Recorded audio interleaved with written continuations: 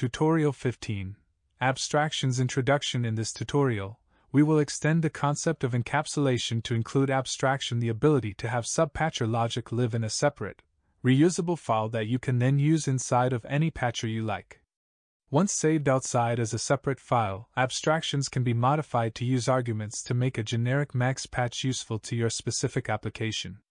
By using abstractions for your most used programming tasks, you will be able to reuse that logic in future projects without any duplication of work. Abstractions are key to supporting your accumulated max knowledge and experience. The abstraction mechanism can make your subpatches look and act like built in max objects, and can also accept arguments to further tune its functionality. An overview in our tutorial patcher, you will see that there are three different patches. In this case, each of them do the exact same thing, but at different levels of abstraction. The first section is the fully visible patch. If you turn on the Metro with the toggle, we see that the patch tracks your cursor around the screen and draws a scaled version of your mouse movements in the LCD display. We make use of the bucket object in this patch. A simple example of the object is shown on the left next to the LCD. In its most simple form, upon receiving a value, bucket always puts out the last value it received. This makes it useful as a single event delay object, which we use in the main patcher to construct line segment messages that link the current position of the mouse to its previous position. In the case of section 1, we have a lot of logic on the screen, and it might be useful to encapsulate it into a subpatcher. However, the patcher logic that pulls the mouse and scales it based on the size of our screen looks like something that could be useful elsewhere. It would be interesting to have it available for other patches without having to copy and paste from one patch to the next. This is where abstractions come into play. An abstraction is a subpatcher that is saved as an external file and can be used just like a standard Max object. As long as your abstraction can be found in the Max file path, you can type its name into a new object box and it will be loaded directly into your patch. The abstractions used in this tutorial are in the same folder as the patcher accessing them. A library of abstractions can easily be created by placing them in a folder inside the patches, folder of your Max installation, or anywhere else Max looks for files. Using a simple abstraction, the second section of our patch shows an abstraction at work. Turn off the Metro for section 1, hit the space bar and turn on the Metro for section 2. You will see that the program works exactly as it did before. The object, called Thwidum, is actually an abstraction of the scaling logic from section 1. If you double click on the Thwidum abstraction, a new patcher window will display the contents of this abstraction. Notice that this looks very much like an encapsulation with one exception you cannot unlock the window to edit the contents.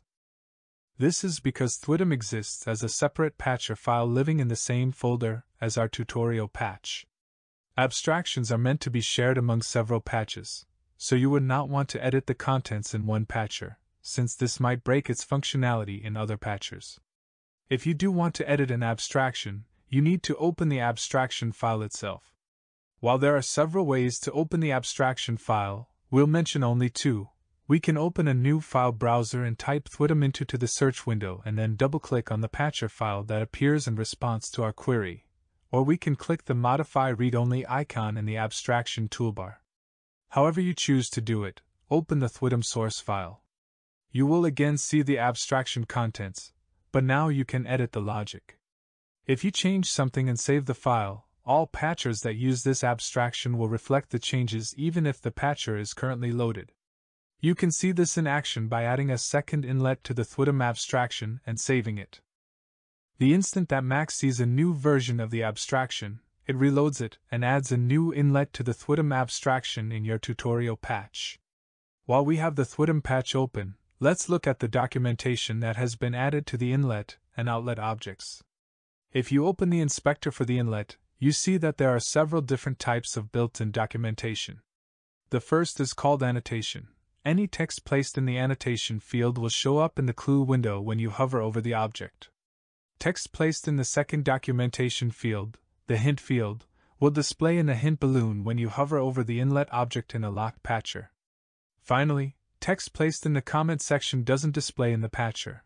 Rather, this text is shown as the assistance text when you hover over the inlet of the object in the higher level patcher.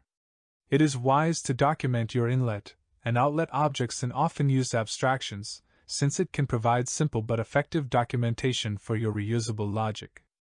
Using an abstraction with replaceable arguments in our Thwidum abstraction, there is no logic that needs to know about the higher level patcher.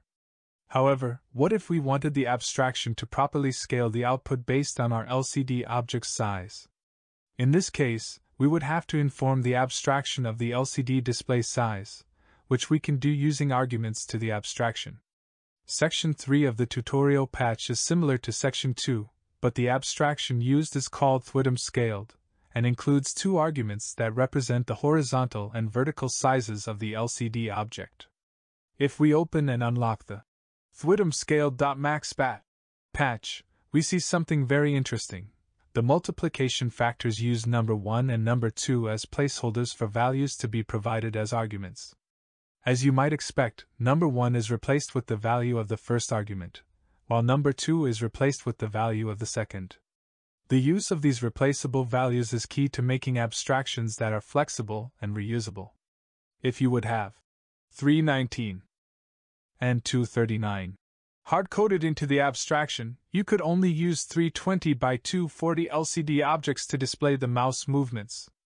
On the other hand, if you force the top level patcher to perform the final scaling, you are forcing the top level patch to duplicate work that could be easily abstracted into the lower level patch.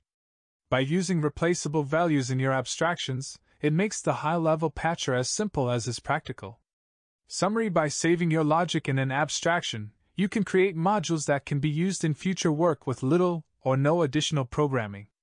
This allows you to parlay your max knowledge into more efficient work in the future, and will help you create programming systems that are modular and easier to maintain.